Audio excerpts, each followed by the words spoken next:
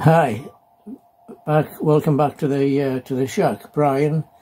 ZL3XDJ in the shack uh, today, and uh, we're just going to have a, a little look around. Um, first of all, we're going to try the wee um, the wee uh, QCX 5 watt CW uh, transceiver on 20 meters. Um, see if we can actually make a contact uh, and then if not, we might go over to the um, to the TS um, 480HX. Um, bands uh, are not uh, in very good condition at all.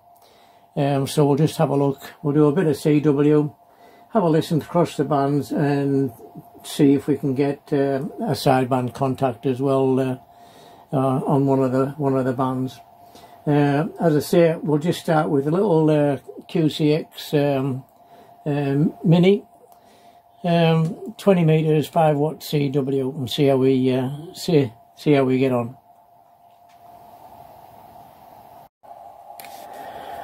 So this is the wee little um, the wee little QCX um, Mini, as I say, 5 watt CW on uh, 20 meters. Uh, and um, the usual the three element parasitic vertical outside firing long path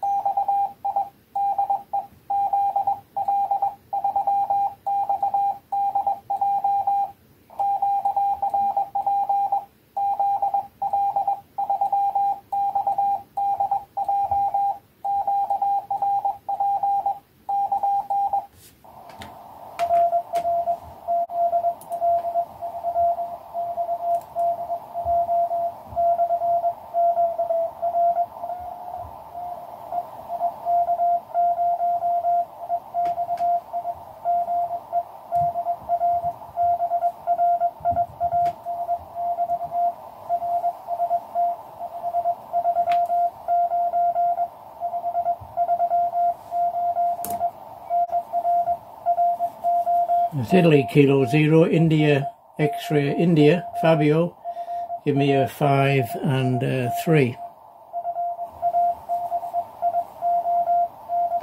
Which is a good start.